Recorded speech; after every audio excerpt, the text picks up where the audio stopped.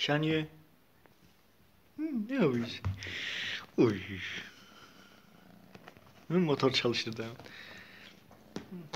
Düşürdün mü yeşili oraya?